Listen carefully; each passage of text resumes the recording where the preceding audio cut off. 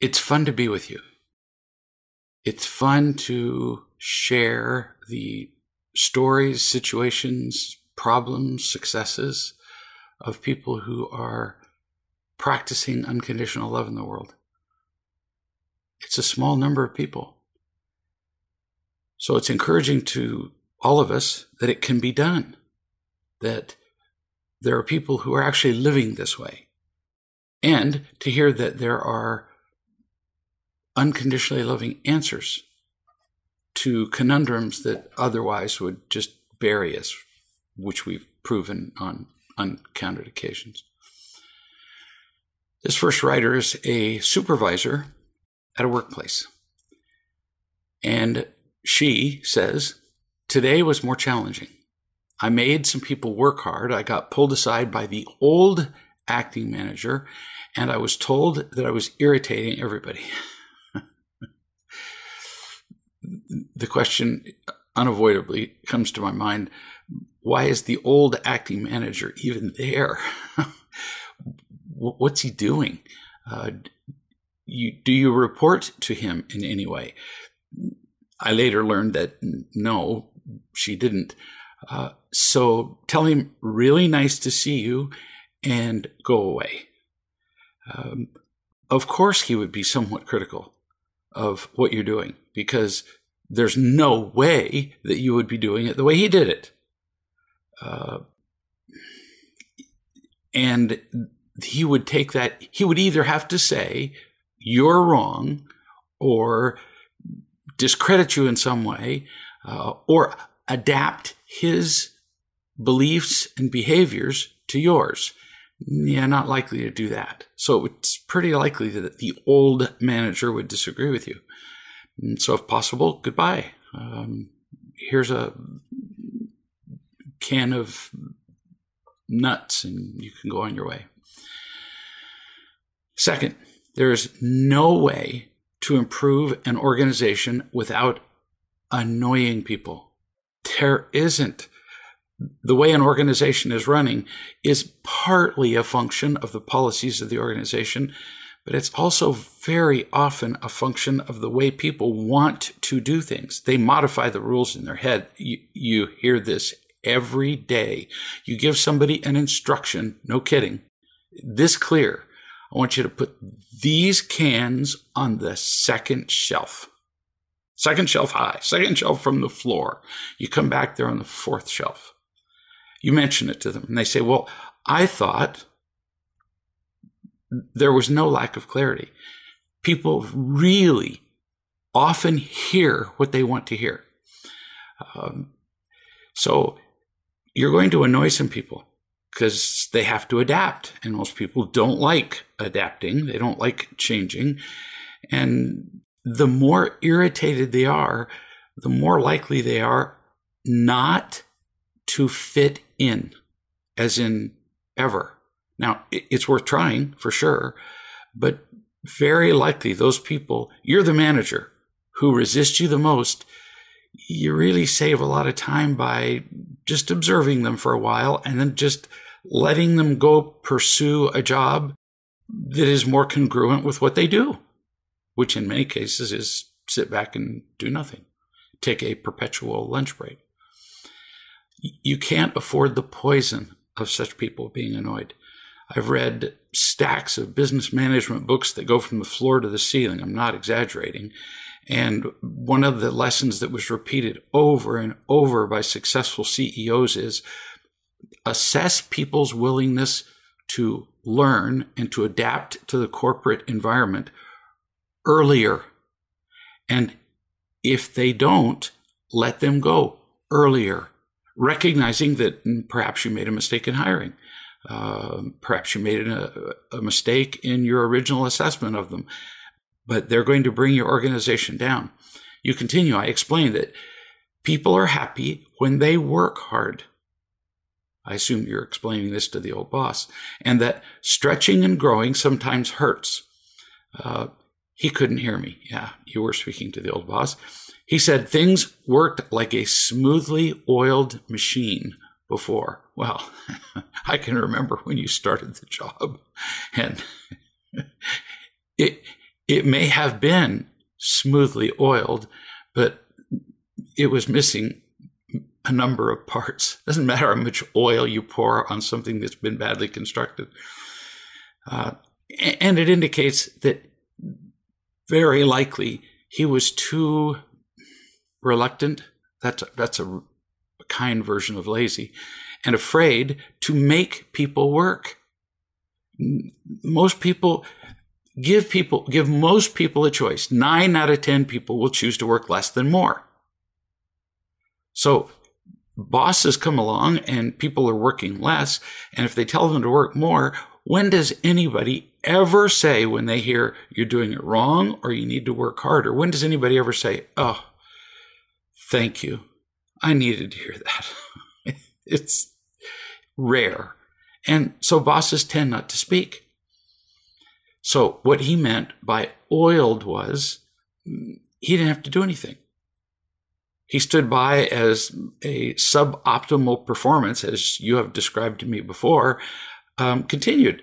It was good enough for him. That's what he means by well oiled. Remember this because as a manager, it is never possible to please everyone. Really. If I'm not getting fairly regular complaints from somebody about something I said or did then I'm not loving and teaching enough. Certainly not teaching enough. You continue. I was thinking about it afterward, and his smoothly oiled machinery involved four people standing in a shed, smoking for an hour, waiting to do the work of one person while there was other essential stuff that needed doing. Exactly what I was saying. That's his definition of well oiled. Foolish. And that's why your organization was having financial difficulties.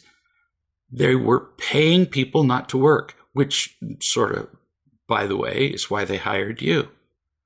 Uh, so that the organization would work better. If it was working optimally, why did he leave? Uh, he wasn't at retirement age. You continue, he was moaning on behalf of other people.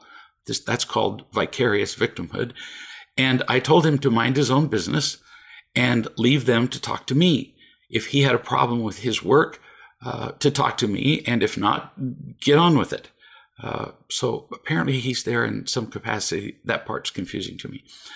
I interrupted his overlong lunch break uh, as a job that, with a job that needed doing right then and there, and he was furious. So apparently the ex boss is still being employed, but was deemed not to, to be doing a good job as a manager.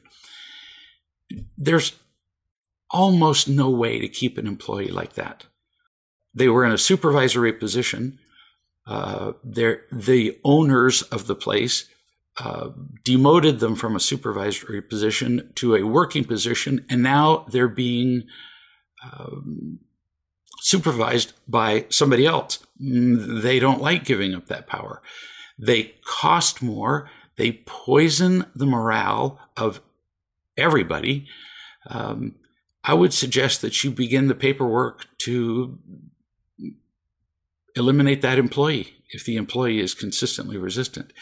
It is the loving thing to do. No kidding. For everybody involved with the business. Because if you keep somebody who's not doing their job, you make the, the work harder for everybody else who's there. And that's just not fair. Next uh, subject. Daily, minute by minute, says this writer, I feel this overwhelming need for air. Like I can't breathe. When I reach out, I get nothing. That's a lot of pain, honey. You continue. I wasn't locked in a cage as a child, although I did have four fathers, and my mother was married seven times. Uh, it's what I saw, heard, and wasn't given. Being raped by my friend's father at age 10 pretty much sealed the deal.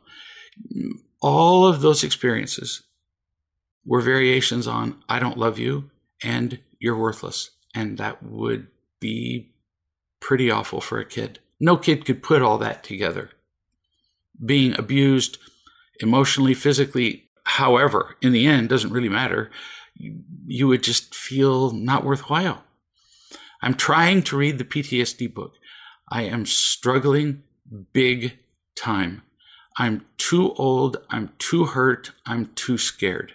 Well, I don't blame you. You're carrying around the accumulated pain. You say you're too old. The accumulated pain of many decades. It's a, it's become a mountain sitting on top of your head.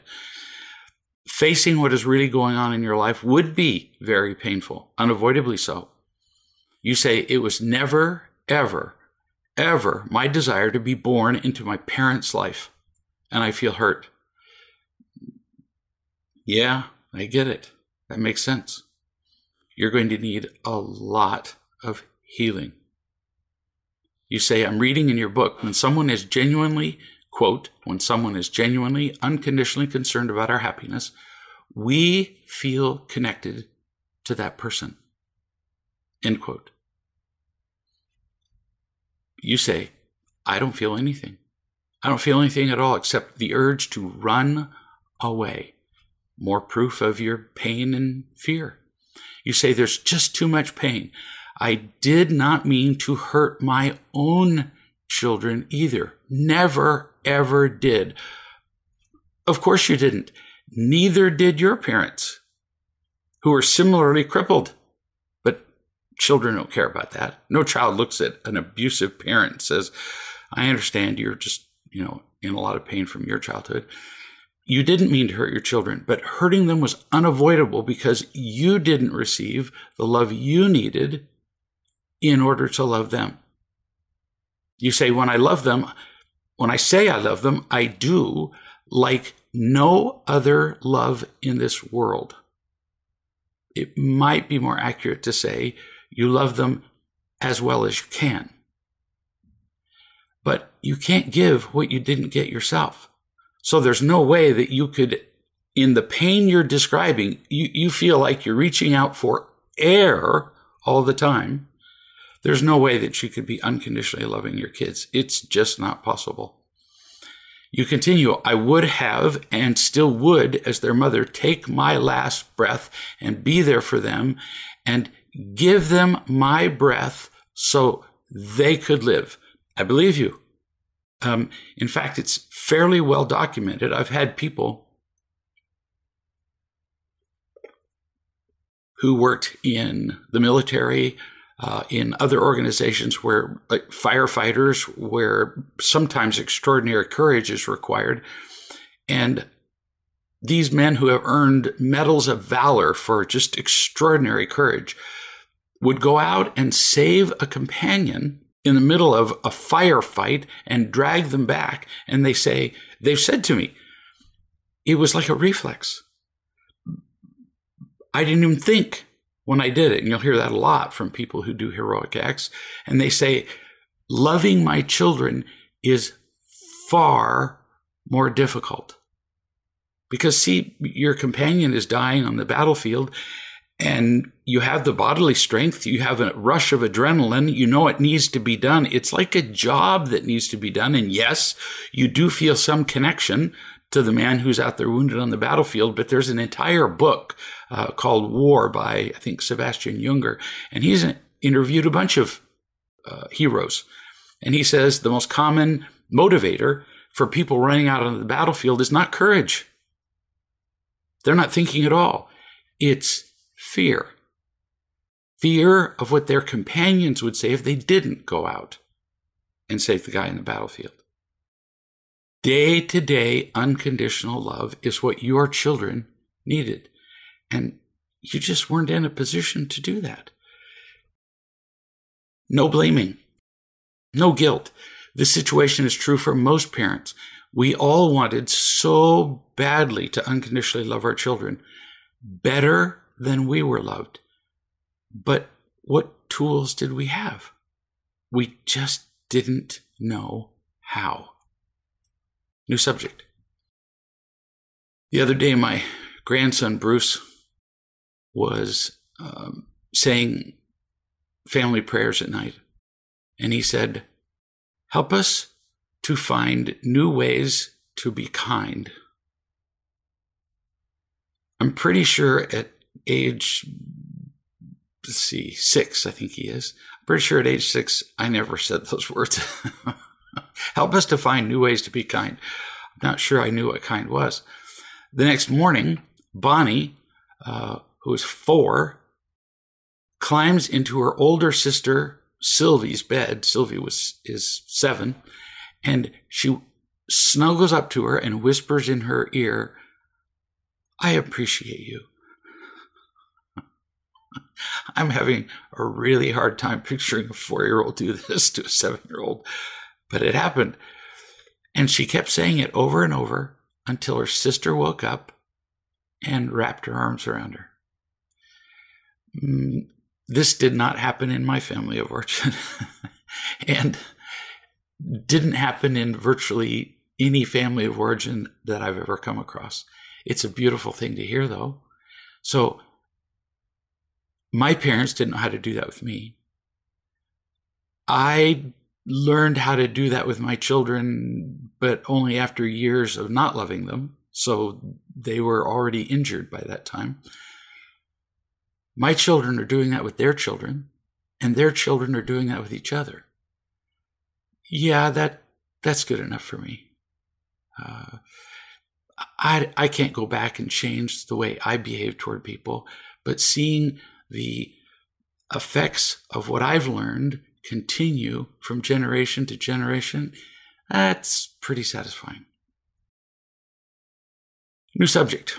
A woman, Paulette learning to practice uh, real love, a people pleaser.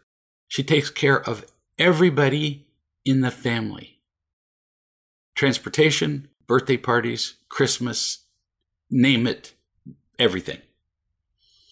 She set up the birthday party for her daughter in law, Jill, uh, on her birthday, meaning the birthday of Jill, the daughter in law. But then Jill decided that she'd rather have it on another day because it conflicted with some itty bitty little tiny thing that she had planned. Maybe I can't remember what it was. Uh, go to a sale at a going out of business thing for a fabric shop. I don't know, something. But that date then created a conflict for Paulette, who was arranging the birthday party, and everybody agreed that she would. Um, so that conflicted with what Paulette had volunteered to do. She'd already put plans in place for the birthday party. She'd already put those into motion. And at my considerable encouragement, Paulette kept the birthday party on the birthday because everybody had agreed to that. Paulette had done considerable work to arrange the birthday party. And then at the last minute, the birthday girl goes, Well, I, I do have a fill in the blank, a bowling league to go to that night, a whatever, something she could have, she knew about and could have mentioned from the beginning. And so she told Jill, her daughter in law, uh, that the birthday party was going to happen. Everybody was going to come. Everybody was going to have fun. Everybody would celebrate Paulette's birthday, but Paulette could come or not. there are very few people who would have the courage to do this. Paulette writes My son, who's the husband to uh, Jill, the birthday girl, uh, called to convince me to have his wife's birthday on another day which is, of course, what she wanted. Of course, he called you because she made him. You, you think he cares what day it's on? He doesn't care. But he knew that she was going to make his life hell if she, if he didn't call Paulette. Um, keep in mind, she can celebrate her own birthday any day she wants. Really, she can have her own party anytime she wants. You, Paulette, are simply offering a birthday party on a certain date, May 3rd. Mm, I don't remember if that was the day. And Paulette wants to do it on May 5th. Well, now there are two birthday parties for Paulette. One she doesn't attend and one she does. Who is injured? Nobody is hurt. Paulette can do anything she wants to except change you. And you would probably gladly change things, except you'd already made plans and people had made promises, and now you'd have to go all undo all that. We think that if people fervently request something, which really means demand, we should comply. We really do. That's kind of really how the world runs. You're just making a kind offer. You're not conducting a negotiation. You've offered a gift and now she wants to modify it. Now imagine this with a Christmas gift. You give somebody a Christmas gift um, and they say, thanks, but I want you to take it back and get this instead. Who, who would say that? It would be, it's one of the social norms that would be considered violated by saying that. Now, I do know some people who would say that, but we're going to ignore them. It would be absurd to modify a gift that's, give, that's being given to you. And yet, that's what you're offering her as a gift. And she's saying, I want to change it. She's used to controlling everything and everybody, including you, and you let her for many years. Now you're changing things, and including your son, her husband. She can hardly imagine that you're considering not doing what she wants. She must be just shaking her head because when she gets angry, the, everybody scatters. And there are lots of people like that.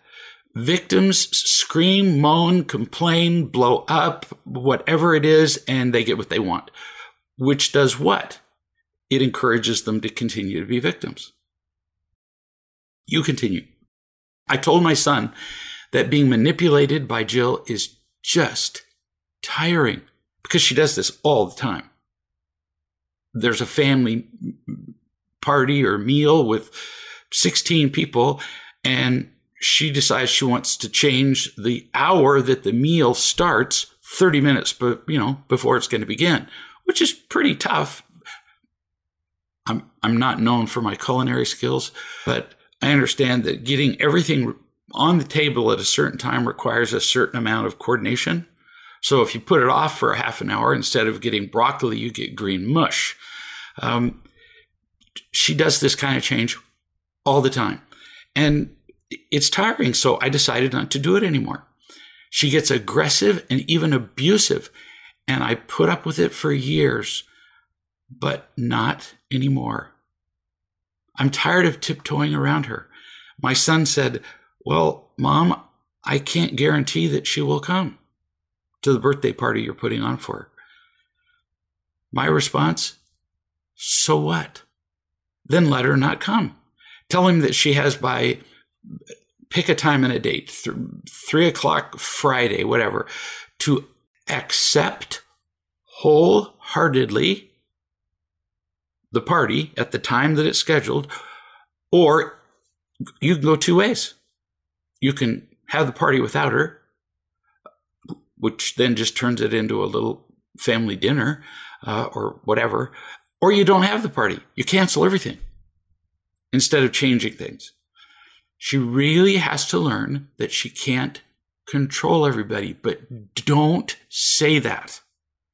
If you, if you say, well, you just got to get over try, trying to control everything, you, that's a guaranteed fight. As opposed to, I'm offering you this gift. So on Friday at three o'clock, you can notify me that you'd like to accept the gift or mm, you'd like to have the gift returned. See, easy. Choice A, choice B. Make things very simple when somebody's angry or a victim. If you give them a lecture of any kind, or if you explain yourself, like, mm, I'm tired of accommodating myself to your last minute demands, you're dead. They're not going to hear anything simple choices.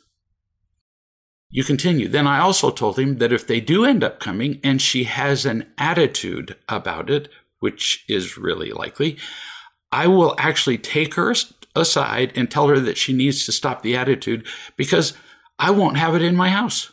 Not anymore. I have in the past. I was wrong. I allowed it to occur, but I won't anymore. Well, he became afraid that I would even think of doing such a thing because he wouldn't dare stop her from doing anything. That's how long she's been controlling him. Well, good for you. That's called being a person instead of a slave. So get this overall picture. You're being told you have to modify the gift you're freely giving. That's insane. And if she comes and she has an attitude, you're being told that you have to endure poison in your house. I would no more endure somebody having an attitude in my house than I would having somebody smoke in my house. Um, I don't care if people smoke, by the way. None. Have no judgment about it. But not here. I don't care if people have attitudes and poison people everywhere that they go, but not here. Here, I, I actually get to choose to tell them mm, A or B, change your attitude or leave. And I wouldn't be mad about it because if they take their attitude with them, what a relief. You continue. My son actually opened up and talked about how emptied Jill and her, her whole family were.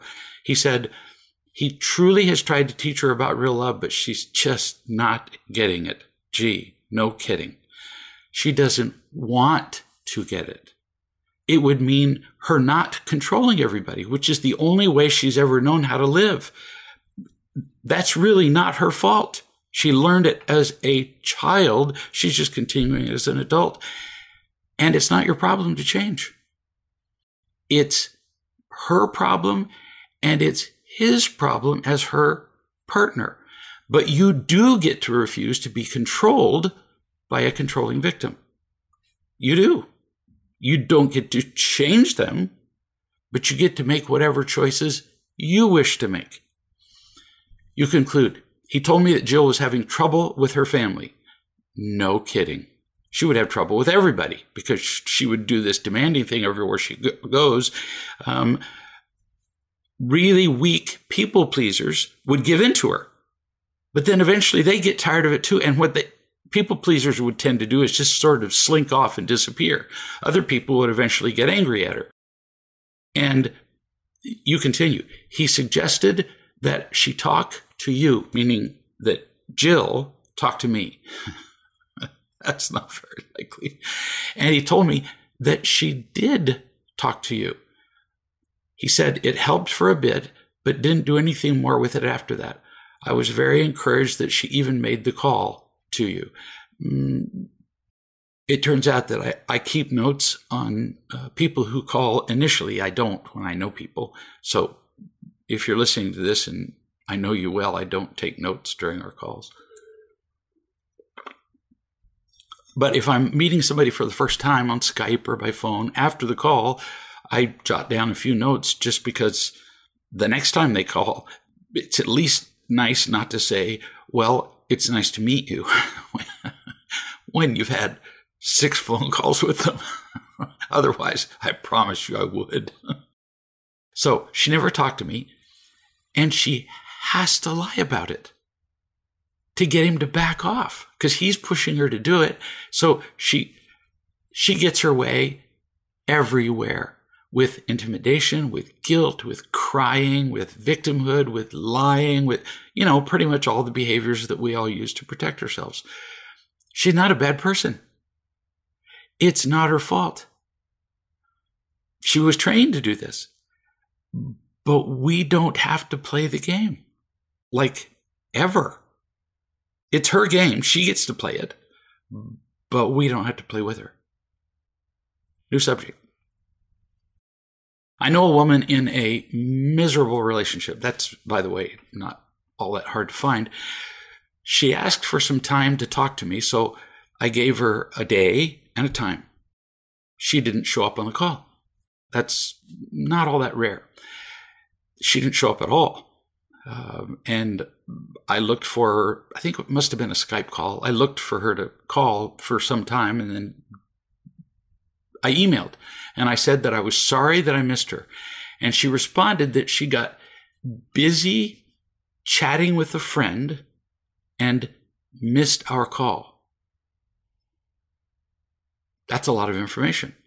So she's in a miserable relationship, said that she barely even wants to live, but chatting with a friend was more important. She wouldn't miss her appointment for chemotherapy. Let's put it that way. She wouldn't. She wouldn't miss her cruise. Um, boats on cruises leave exactly at the time they say they're going to leave the wharf. That I'm not kidding. Within five seconds, you can feel the ship quiver. It moves. I responded, I have a busier schedule than you could imagine. I probably by email. Uh, I gave you the one time that I had left today, which meant that somebody else didn't get that time. So I had turned somebody else down because it was the only time left. Then you said you couldn't make it because you were chatting with someone, which means that your commitment to showing up when you said you would is pretty minimal. Makes me reconsider your commitment to learning, certainly whether you value my time. Notice, to everybody who's listening, there's no anger in this, just a commitment to myself to use my own time wisely. Much like I was encouraging uh, the woman who was doing the birthday party um, to use her time wisely and to value her time and to not throw it away or to give in to demands for more time. And I'm the only person who gets to determine how to use my time. Really? Nobody else gets to tell me what to do with my time.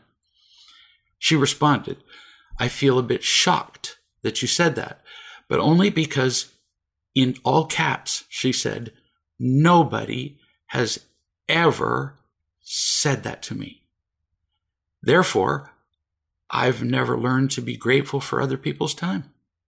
Now, there's a ton in there if you missed it. And I'm just going to pick out one little thing. Nobody's ever said that to her. Victims are make up such great excuses. They feel so entitled. They're so convincing that nobody has the courage to say anything to them. And they also know that if they did, the victim would erupt all over them, and really nobody likes molten lava poured across their face. So, in all of her life, nobody's ever mentioned to her that she was inconsiderate in this way. She said, You're right. I didn't think at all about you or your schedule and the other people who have asked to speak to you. And I know there are loads. She said, Seriously, thanks for putting it so black and white. I needed to hear that. This is not the usual response of, of a victim. This is really rare. She continues, Sorry for wasting your time today. I also wasted a lecturer's time at university today, but was completely oblivious to it until I thought about it just now. I know you only told me this for the benefit of my own happiness and my own growth. I think I need to do some work on my own sense of entitlement. And now we'll see if she learns. The fact that she says she's would like to learn or she needs to learn doesn't really mean anything. We'll just see. Most people are inconsiderate of other people's time. They don't hesitate to be late. They don't hesitate to demand other people's time. They don't hesitate to ask people to do things for them. They, they really don't think about other people. But nobody ever tells them because one, they too don't care about anybody's time but their own, so it seems normal. And two, they're afraid of offending the inconsiderate person. So nobody ever says anything to anybody. That's not much of an exaggeration when I say nobody, because think about it. This lady who was, I can't remember, 50 years old, in her entire life had never had anybody say she was inconsiderate about other people's time ever. So, what are the odds that I picked the only victim who's inconsiderate of other people's time who had never been confronted about it? Pfft, ridiculous. So, nobody says anything, and the selfish habit just perpetuates from year to year, from person to person, from generation to generation until it becomes normal. And once this pattern becomes normal, oh, well, we're done. New subject. I know a woman who's had a lot of pain in her childhood, more than average. She's also unusually sensitive and tender.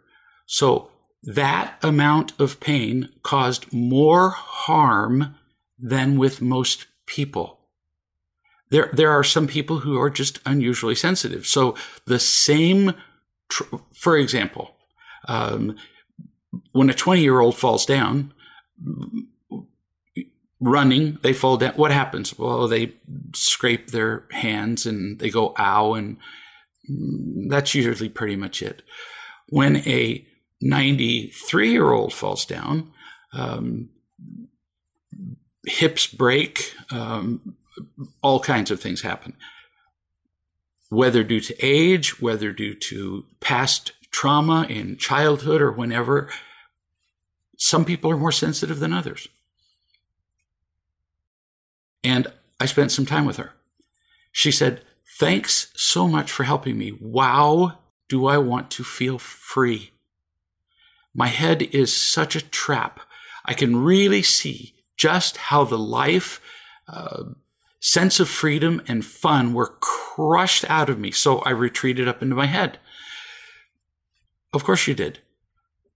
Now you're sensing freedom, which is a prerequisite to joy. It amounts to getting out of the prison of your head. We are all free to choose freedom and life or prison and death. The choice is that stark. It's that black and white. She said, I felt freer a month ago. Now I feel less free. Can you explain why? Mm, I know you, and the audience needs to know that, or, or I probably wouldn't be able to answer a question. You're just living deeper. So the freer and safer you feel, the safer you feel to let deep wounds surface. So at times you feel less free because the wounds are all around you, but they're just deeper wounds that you had to get to. Now we're going deeper and learning still to be free, like swimming. So at first you feel free to swim on the surface of the water in calm water, like a swimming pool. That's where most people learn to swim. Then, as you get stronger, you feel free to swim where there are waves, like in a lake or the ocean, which is harder. Did you know how to swim before? Yes, before you went into the ocean. But now you're stronger because with the safety of swimming in calm, now you can swim in waves. The circumstances just become harder. And then there's swimming with a snorkel at, say, 20 feet deep which is not a small thing to learn to do. Most people, most people can't do that. Then there's swimming at a hundred feet deep. I'm not going to give you the details of how that's possible. Only crazy people do it. But I've been at a hundred feet deep um, with no air tank, with no nothing. You can't stay there very long. you, there's just no air. That's much, much harder. I couldn't have done that in the beginning. There are people in the South Seas who do that kind of thing all the time. Um, I didn't do it all the time. I did it, I think, once or twice, and it was on a dare, and it was pretty scary. It's all about progressing. We learn to do more, and at each step, we experience some sense of, oh, fear, some sense of unfamiliarity. But it's not the same unfamiliarity. It's not uh, the same feeling of being trapped that we had in the beginning when we couldn't swim at all. Same in emotional stuff. Free, then more freedom is required to dig deeper, like swimming deeper. Then the deeper you go, the more capable you must become to deal with deeper wounds. This is why so many people, uh, as they're investigating real love, they feel wonderful. And then they hit their first bump and they fall down and they go, oh, well, that, well, real love doesn't work. No, you just experienced a bump in the road. Uh, and if you got up, you'd discover that you heal much faster and that you're on a steeper slope than you've ever been before. But we, we hate pain so much that we'd rather flee pain than genuinely be happy. Just the lessening of pain becomes our new definition of happy. I was a drug addict for years. That was my definition of happy. When I was unconscious. Yeah, that doesn't qualify as happy. New subject. I know a woman who was in a terrible relationship. It was selfish and unloving, and she came for to see me for a couple of days and learned what it was like to feel loved. Then she went back home to learn to love her husband. She had, because he refused to come and be seen by anybody, he didn't need any of that. And he used some foul word, but I don't remember what it was. He didn't need any of that. She had always demanded from him what she needed. And, and what she learned as I spoke to her was to feel loved enough that she could love him first instead of demanding from him. She said it was hard. I think it was by email, if I remember. And I said, Stop everything. Listen to this slowly. This is the kind of stuff that separates the loving, the loving people, and the living from those who are not loving and living. Um, give you an example. I'm thirsty. So what? I can wait. I can put somebody else's desires before mine for a while and I can drink later. So can you with your husband. Now that you have found a place, in fact, more than one place where you can get loved, um, you don't need to be loved by him every minute of the day. In fact, he's already proven pretty thoroughly after quite a few years of marriage that he can't love you. But you can get love and you can put off getting loved by him. That might be years. Mm, but see, you've got a source of water. He doesn't, except for you.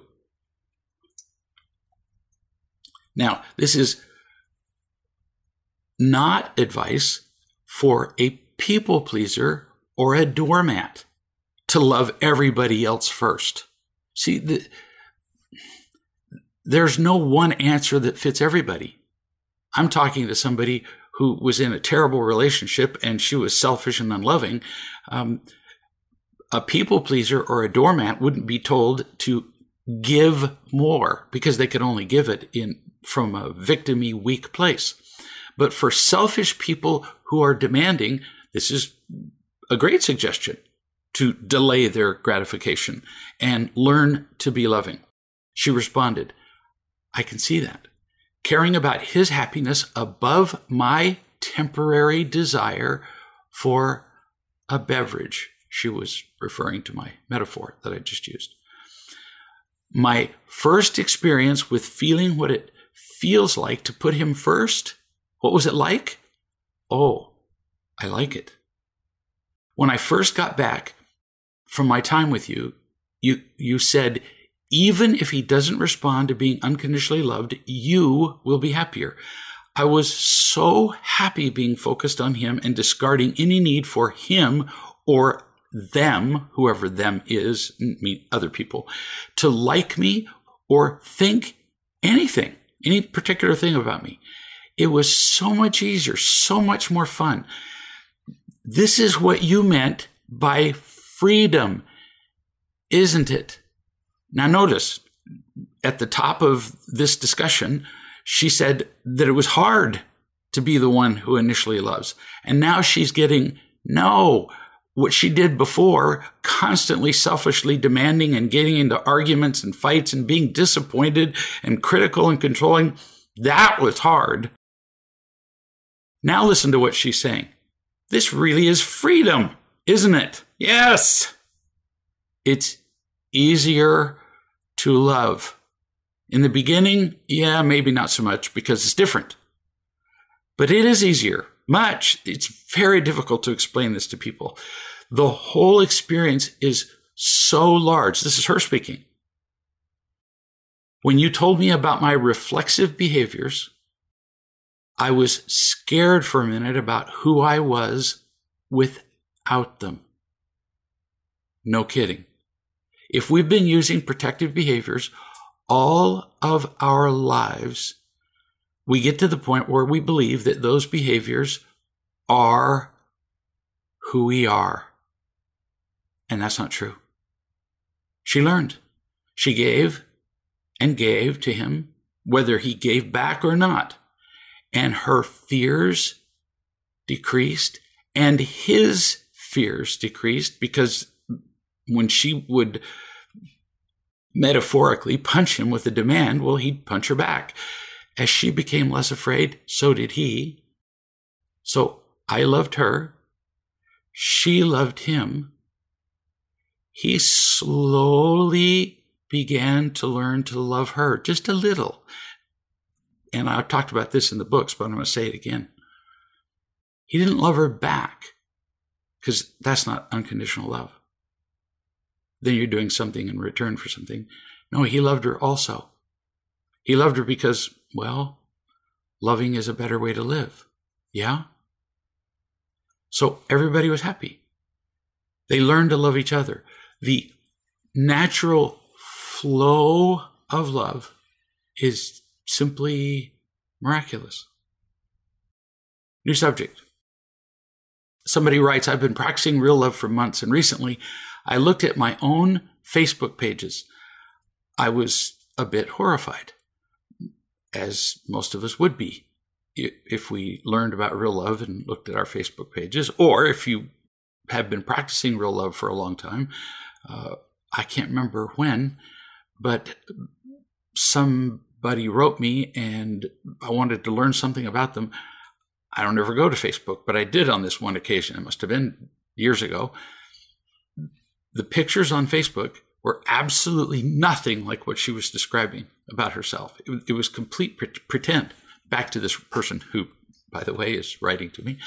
Um, I looked at my own Facebook pages. I was horrified. Every picture is designed to make me look physically fit, happy, like a good wife, and a good mother. And of course, I got hundreds of likes and flattering comments. Well, how bad? Facebook is a festival of flattery and comparison. And it's disaster either way. Neither of those will ever make you happy. In fact, they will distract you to the point where you can't be happy. Flattery yields an artificial sense of worth, and comparison simply makes you feel worse about yourself. Because you can always find somebody who looks better, is thinner, has a bigger, apparently happier family. Because I attended a photo shoot once um, where this, it doesn't matter why or when. And the mother of the family was, she would have been a great concentration camp commandant. Um, she barked orders and people moved. And when she barked, hold still and smile, everybody bloody held still and smiled. And later, uh, by a little bit of tweaking of the photograph and because of her barking orders, she had a picture of her family where everybody looked absolutely happy. And when the photo shoot was over, they went right back to complaining, whining, yelling, demanding, victimy. It, it, it was a nightmare. Facebook portrays those pictures, many of which have been altered. You continue. And I see the comments that I wrote back. It's embarrassing. What an eye opener. I feel like I was looking at some kind of twisted, sick version of myself. Well, bless you. What an insight. Look back looking back at what we did when we were in our pain, we, we can see that we were pretty insane. You continue. One person commented on what a nice picture it was of our family. I had replied something like, that means a lot coming from someone who is as talented with art and photography as yourself. now, this is her speaking to me. Yuck. How flattering and insincere can somebody be? And she was describing herself. Which, of course, makes me smile because as our eyes open, we see more and more, we get deeper and deeper and go, oh, I can't believe I did that. You continue, I was so desperate for people to like me. I had to say things like that to feel good about myself as a person.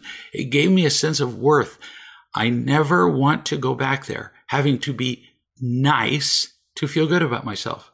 I've been so much more happy. I've felt so much more, uh, sorry, I've been so much more unhappy. I have felt so much more worthless than I realized. All those years I was unhappy and felt worthless and I didn't know it. And I'm seeing it better and better as I'm becoming happy because I'm seeing the contrast between the two. I'm seeing the distance grow. The old life where I thought I was happy, the new life where I'm genuinely happy. And as I become genuinely happier, this looks worse, even though the past can't get worse.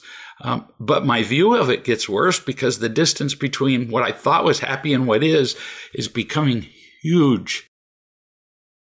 Beautiful. And it's because you keep trusting and moving forward, which is amazing. The comment I made, this is you concluding, I don't think I would ever say such a thing now. It would just feel weird. It would feel fake and insincere. And I'm really glad that I can see it now. And so am I.